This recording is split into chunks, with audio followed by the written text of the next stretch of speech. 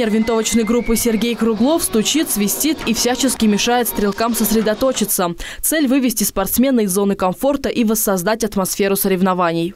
так сказать, создать стрессовую ситуацию, э, чтобы спортсмены могли выработать такую устойчивость в стрессовой ситуации, чтобы э, именно на соревнованиях, уже на международных, когда э, болельщики из других команд э, кричат, мешают нашим спортсменам, чтобы наши спортсмены были подготовлены к этому.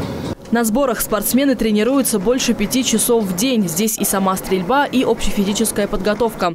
Ведь нагрузка высокая. Кроме тяжелой винтовки, спортсмен одет в специальный костюм. Стрелковая форма для винтовочников, э, она достаточно тяжелая, где-то, наверное, весит килограмма 4, может быть, иногда больше.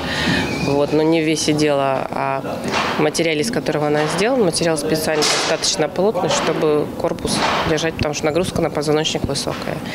А конкретно эта винтовка весит 5,5 килограмм.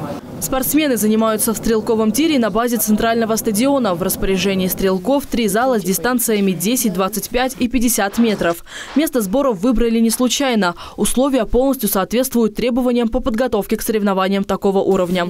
Кроме этого, в Бурятии схожий часовой пояс с Китаем, поэтому спортсменам здесь легче адаптироваться. Схема такая подготовки понравилась, когда они готовились к Сеулу, я так понимаю.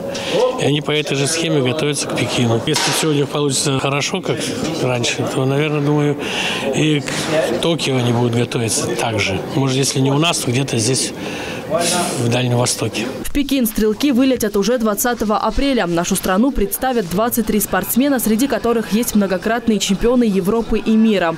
Отметим, победа на этом Кубке мира даст право спортсменам участвовать в Олимпиаде 2020 года в Токио. Мариам Восконян, Федор Моданов, телекомпания АТВ.